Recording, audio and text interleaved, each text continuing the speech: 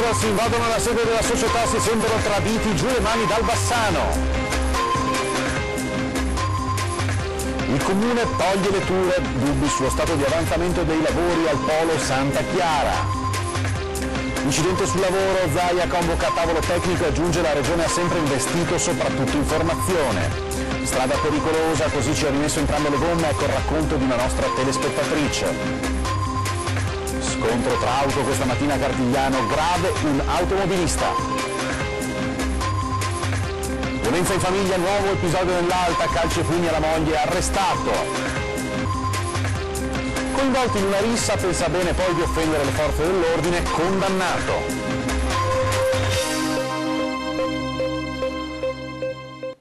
Buonasera, ben ritrovati, questo è TG Bassano, l'informazione di Rete Veneta che eh, arriva puntuale a raccontarvi quanto sta accadendo nel territorio. Partiamo dagli ultras, i tifosi del Bassano che non ci stanno, eh, ieri hanno invaso la sede della società eh, chiedendo spiegazioni sul futuro della squadra tanto amata. Vicenza e Bassano diventeranno una sola società e la stessa squadra di calcio. Tra quelle pronunciate da mister Diesel sono queste le parole che hanno fatto più male ai tifosi giallorossi. L'idea di perdere squadra e identità è inaccettabile per chi domenica dopo domenica da anni sale le gradinate del mercante per tifare Bassano. Perché se anche ai più non piace si può ancora mandare giù l'idea che il re del jeans salvi il Vicenza, ma nessuno ai piedi del grappa è disposto ad accettare che i colori giallorossi si sbiadiscano fino a lasciare spazio solo solo a quelli biancorossi. Il problema è che per ora Renzo Rosso, intervista su carta a parte, non ha ancora ufficialmente dato modo di spiegare cosa sarà del Bassano e allora i tifosi delusi ed arrabbiati hanno provato a capire qualcosa andando direttamente nella sede di Via Piave. Almeno una quarantina di persone, tra fedelissimi appartenenti al gruppo Grappa, hanno suonato in sede dove ad ascoltarle hanno trovato solo Sara Vivian, responsabile marketing e comunicazione, titolata solo ad ascoltare il loro sfogo.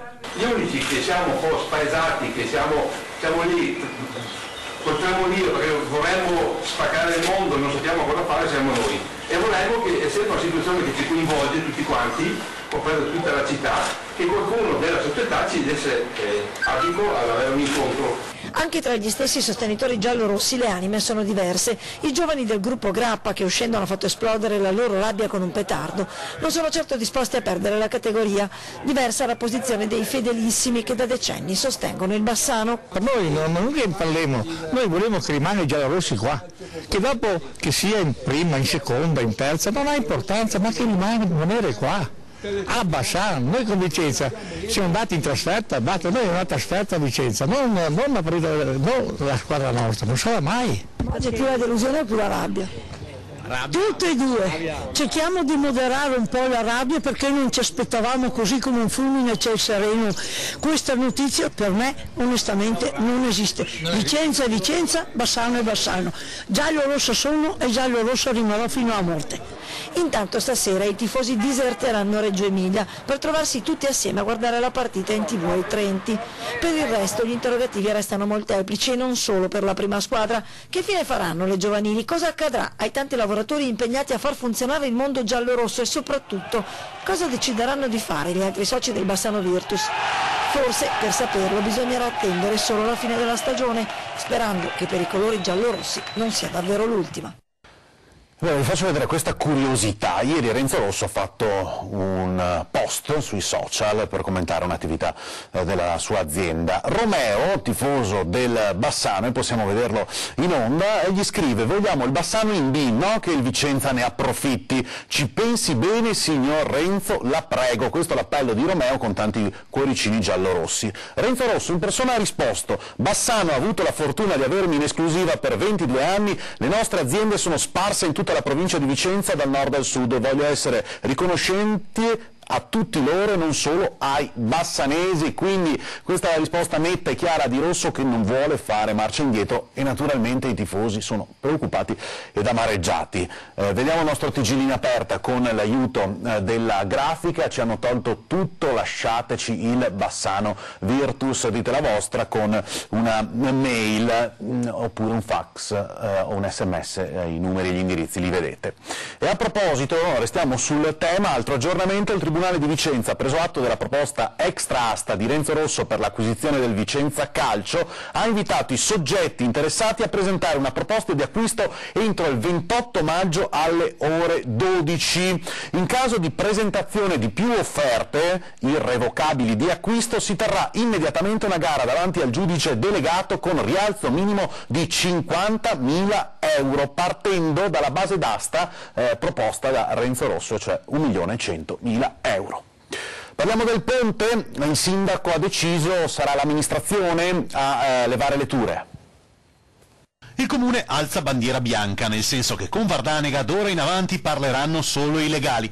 Nemmeno le ture riesce a togliere. Questo dovrebbe essere lo stato d'animo di molti componenti della Giunta che per il momento tengono la bocca cucita perché vale la regola che si parlerà solo in tribunale. Il sindaco però ha deciso di prendere in mano la questione. Nelle prossime ore incaricherà una ditta terza che si occuperà della rimozione delle ture. È una questione di massima urgenza visto il peggiorare della situazione dal punto di vista meteorologico. I lavori inizieranno al massimo giovedì. Intanto, nelle stanze che contano in comune inizia a serpeggiare un brutto presagio per quanto riguarda lo stato di avanzamento dei lavori del polo museale Santa Chiara. Stando ad alcune indiscrezioni, sembrerebbe che anche in questo caso la velocità di esecuzione non convinca appieno sindaco e assessori. Il progetto Il sogno di Beatrice sta avendo un grande successo, lo dimostrano i fatti, con la giostrina ma anche con una decisione presa in regione. Sentite. C'è comunanza di intenti e anche trasversalità, insomma davanti a un bollettino di guerra non si può che rimboccarsi le maniche e vedere di fare qualcosa perché questo bollettino di guerra non sia più tale. Quindi eh, ho già convocato una riunione per lunedì lunedì alle ore 11 cercando di mettere attorno al tavolo un po' gli interlocutori, d'accordo con, con, i sindacati che ho incontrato ieri appunto di trovarci attorno a un tavolo. E da lì partire subito una fase operativa di chi fa cosa, insomma di stabilire so, le linee di investimento per l'ulteriore formazione, i rapporti SPISAL, eh, lavoratori responsabili della sicurezza eh, nelle aziende, i controlli, insomma una dotazione organica di personale, cercheremo di discutere assieme, la Regione è disponibile, cioè io non posso pensare che i miei veneti muoiano, i cittadini in generale per carità, che tutti i cittadini che lavorano in Veneto eh, muoiano lavorando. Io non, non, posso, non potrò mai accettare che qualcuno cerchi di fare politica e strumentalizzare questi dati facendo credere al mondo intero che, che siamo quattro trogloditi che non, non, hanno mai investito sulla sicurezza sul lavoro. Quindi gli investimenti sono stati fatti, siamo anche una regione molto operosa e molto piena di, attività, vediamo ad esempio che c'è un sacco di, di incidenti nel mondo dell'agricoltura. Questo ci fa capire che forse il tema della formazione rispetto so, ai cappottamenti dei trattori, le barre antinfortunistiche e quant'altro sono uno dei grandi temi. Ovviamente era il governatore Zaia che eh, parlava di sicurezza sul lavoro, ci sono stati diversi incidenti negli ultimi mesi e quindi è stato convocato questo tavolo eh, tecnico per parlare proprio di sicurezza e eh, di lavoro. Eh, dal governatore Zaia abbiamo saputo anche quello che vi dicevo prima, eh, cioè che eh, la Regione ha deciso di seguire un po' il sogno di Beatrice, diciamo così, e di investire per favorire l'inclusione al lavoro dei disabili. Sentite. Il sogno di Beatrice è quello di avere città completamente accessibili, senza barriere fisiche e ideologiche. Tra le barriere che i disabili purtroppo incontrano lungo il proprio percorso ci sono anche quelle che gli impediscono di accedere al mondo del lavoro. La campagna di Rete Veneta ha l'obiettivo di dare una mano anche sotto questo punto di vista e la Regione sembra aver ascoltato i nostri appelli. A Palazzo Balbi hanno pensato di diversificare e raddoppiare le risorse per chi assume dei disabili. Gli incentivi sono stati estesi, su proposta dell'assessorato al lavoro, anche alle aziende medio-piccole e alle micro. Gli incentivi regionali, 5.000 euro pro capite, sosterranno le assunzioni a tempo indeterminato di disabili over 45 a bassa scolarità o con disabilità sensoriale. Agevolazioni regionali più consistenti, 7.500 euro, sono previste per le aziende che assumeranno disabili over 55 e incentivi eh, sono previsti anche per assunzioni a tempo determinato di disabili a cui manchino meno di tre anni per maturare i requisiti per la pensione di vecchiaia. Oltre ad alleggerire per un anno il costo del lavoro di contratti rivolti a persone con disabilità, la Regione ha previsto anche contributi fino ad un massimo di 20.000 euro per quelle imprese che sostengono spese per abbattere le barriere architettoniche sul luogo di lavoro e per interventi strutturali e o tecnologici utili per rendere il posto di lavoro idoneo ad accogliere un disabile. Insomma, il sogno di Beatrice, che dovrebbe essere il sogno di tutti, con il passare dei giorni si sta concretizzando. Continueremo a batterci perché si realizzi a pieno. Adesso vi raccontiamo la storia eh, che ci ha raccontato una nostra telespettatrice che ci parla di una strada pericolosa. Tombini pericolosi. La pressione dell'acqua esercitata dal basso li fa saltare ed è subito allerta per le auto, ma soprattutto motociclette che potrebbero finirci dentro con lo pneumatico. E questa è la minore delle conseguenze. Finché una macchina va bene, ma una moto cosa succede? Cioè dove va a finire? Molto male. Nell'allagarsi il tombino si alza e si muove e va fuori sede e qui chiunque passa va dentro al tombino. I tombini saltano come i birilli. La signora Donatella si dice tutto sommato fortunata. Lei nel tombino c'è finita con le ruote dell'auto, prima una poi l'altra. Erano le 23 circa, pioveva di rotto, la visibilità quasi nulla. E a un certo punto ho sentito un colpo fortissimo, la macchina si è inclinata verso il sinistra, la via sinistra, e ho sentito un scoppio ed era la gomma naturalmente. Ha accelerato nel tombino è finita anche la ruota posteriore. Scene piuttosto ordinarie oramai in queste strade di zona industriale.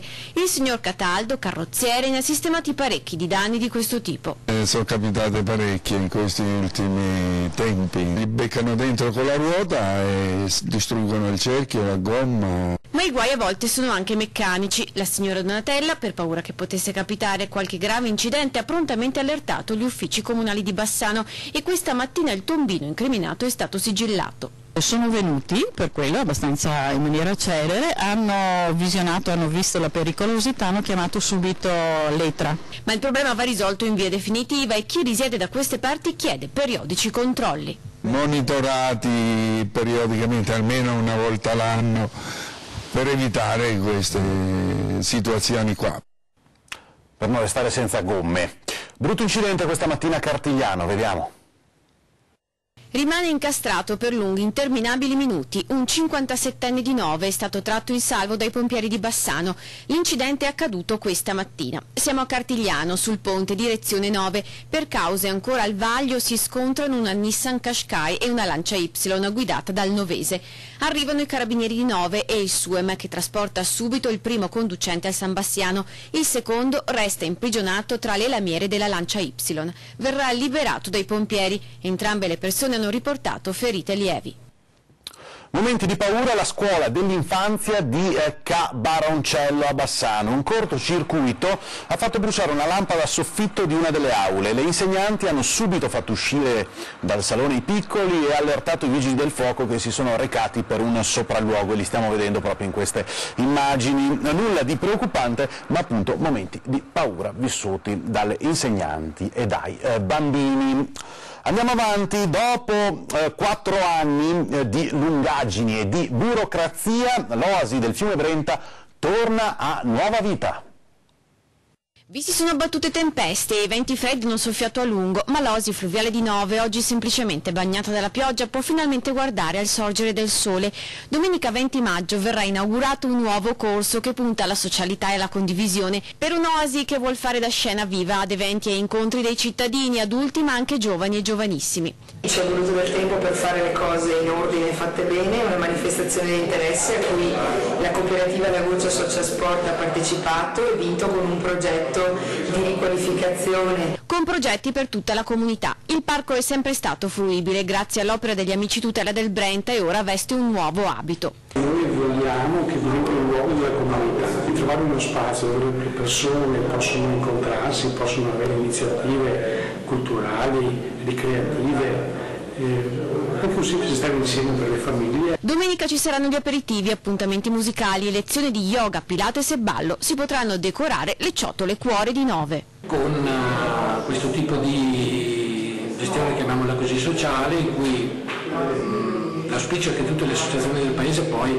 alla fine compartecipino alla, alla vita dell'area assieme chiaramente alla cooperativa allora, eh, vediamo il video girato come sempre dai ragazzi di Meteo Bassano e Pedemontana del Grappa che testimonia una nevicata decisamente fuori stagione, siamo a Cima Grappa, 15 di maggio, questa mattina la neve ha imbiancato il prato e le staccionate, ha nevicato comunque in tutti i luoghi eh, più alti delle nostre montagne venete.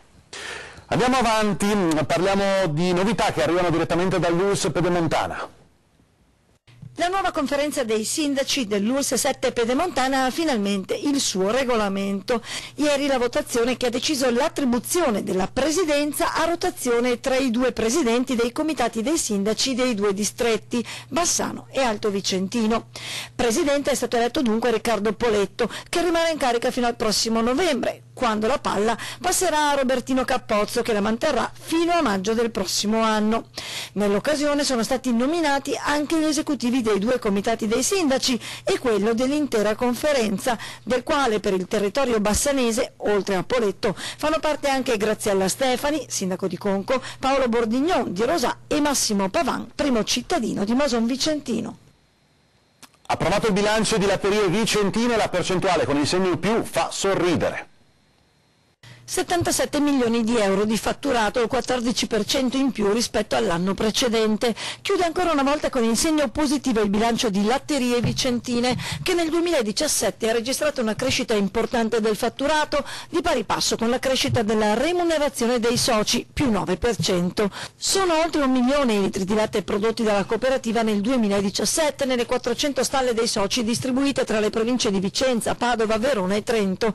Tra gli obiettivi 2018 di latterie vicentine, oltre all'aumento degli standard qualitativi dei prodotti e ad investimenti sulla tracciabilità della filiera, spicca la valorizzazione del comparto biologico con l'aumento del numero di aziende agricole certificate bio. Nel prossimo servizio parliamo di sport, sport studentesco.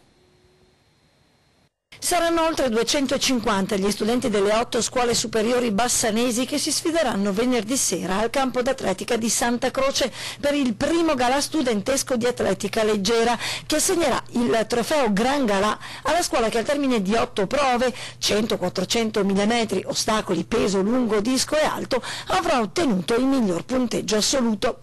La manifestazione inserita all'interno degli eventi di città europea dello sport si preannuncia come una mini Olimpiade con tanto di sfilata delle squadre e accensione del tripode ad opera del vincitore della Maratona di Venezia, Eyob Faniel.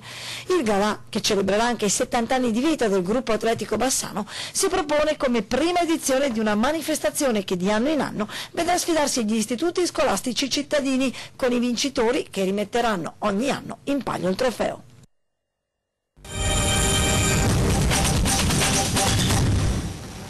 Episodio di violenza in famiglia a Cittadella, ancora uno di episodio nella zona.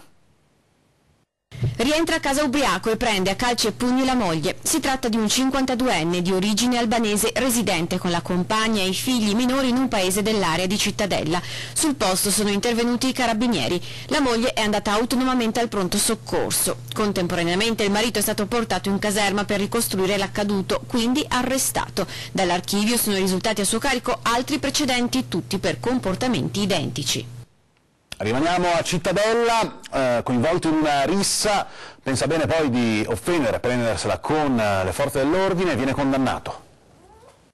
Coinvolto in una rissa, offende gli agenti e reagisce al controllo, condannato ad un anno ed un mese. I fatti risalgono al dicembre 2014, quando due agenti della Polizia Locale di Cittadella in servizio serale in centro storico intervennero per sedare una rissa davanti ad un bar. Alla vista degli agenti due persone fuggirono verso piazza Piero Bon per essere poi intercettate in piazza Scalco. Uno dei due, un 21enne macedone, residente a Cittadella, riuscì a fuggire comunque e a far perdere le proprie tracce. Identificato grazie al sistema di di videosorveglianza, il giovane, deferito alla Procura della Repubblica per resistenza ed oltraggio a pubblico ufficiale, è stato ora processato e condannato. Per lui, già condannato anche in passato per reati analoghi, è scattata anche l'espulsione dal territorio nazionale. Questa sera con il nostro direttore Luigi Bacialli ci saranno Renato Boraso, Maria Rosa Barazza, Andrea Ostellari, Maria Gomirato, Nuri Ali Sheikh e Alberto Ruggin. Aspettiamo i vostri sms naturalmente. È veramente tutto per questa edizione di TG Bassano, vi ringrazio e vi auguro un buon proseguimento di serata, ci vediamo presto.